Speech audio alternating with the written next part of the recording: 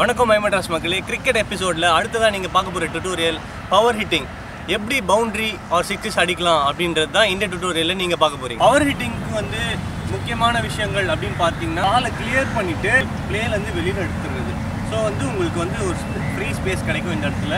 Next விஷயம் என்னன்னு பார்த்தீங்கன்னா நீங்கள் காலை இப்படி வெளில போடும்போதே உங்களோட பேக் லெக் வந்து டோ பாயிண்ட் பண்ணி பெண்ட் ஆகும். ஸோ தட் நீங்கள் வந்து பின்னாடி போகிறதுக்கும் முன்னாடி வர்றதுக்கும் ஃப்ளெக்சிபிளாக இருக்கும். ஷார்ட் ஆடுறதுக்கும் யூஸ்ஃபுல்லாக இருக்கும். ஸோ தட் உங்கள் பேலன்ஸுக்கு ரொம்ப முக்கியம். ஒரு பேட்ஸ்மேனுக்கு ரொம்ப முக்கியம் வந்து அவனோட பேலன்ஸ் நான் முன்னாடியே சொன்ன மாதிரி ஒரு ஒரு பேட்ஸ்மேனுக்கும் ஒரு ஒரு ஷாட்டுக்கும் ஒரு பேஸ் பொசிஷன் ரொம்பவே முக்கியம். இந்த ஷாட்டுக்கு பேஸ் பொசிஷன் என்னென்னு பார்த்தீங்கன்னா காலை ஃப்ரண்ட்டில் போட்டு பேக் லெக் வந்து டோவில் நிக் ஸ்டடி பண்ணிவிட்டு ஆடுறது தான் போன வீடியோவில் ஒரு ஸ்ட்ரைட் ரைடில் பார்த்தீங்கன்னா நம்ம இப்படி சரியாக நின்று கால் ஃப்ரண்ட் ஃபுட்டில் முன்னாடி லீன் பண்ணி ஆடிப்போம்.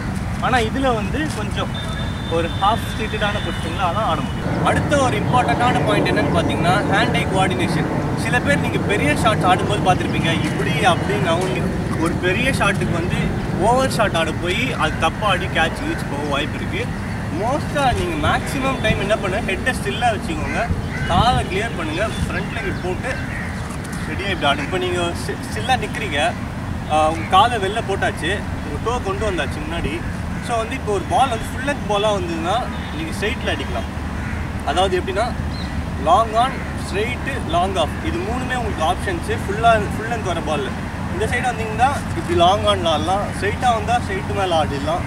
இல்லைனா ஒரு ஹாஃப் சைடில் வந்தால் ஹாஃப் ஆடலாம் ஃபுல்லாக வந்து நீங்கள் ஸ்ட்ரைட்டில் ஆடுவீங்க ஒரு குட் லென்த் பாலை வந்து நீங்கள் மிட் விக்கெட் மேலே ஆடலாம் ஸோ வந்து ஒரு குட் லென்த் பால் வந்து எப்படி வந்துன்னா இப்படி போட்டு இப்படி ஆட வேண்டியது தான் அதே ஒரு குட் லென்த் பால் ஆஃபில் வந்துன்னா நீங்கள் ஒரு கவர்ஸ் மேலேயோ ஒரு பாயிண்ட் மேலேயோ ஆடுறதுக்கான சான்சஸ்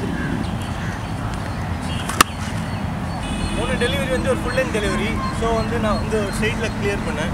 இந்த டெலிவரி வந்து ஒரு குட் லென்த் டெலிவரியாக வரும். ஸோ வந்து அதை எப்படி கிளியர் பண்ணுறதை பாருங்கள்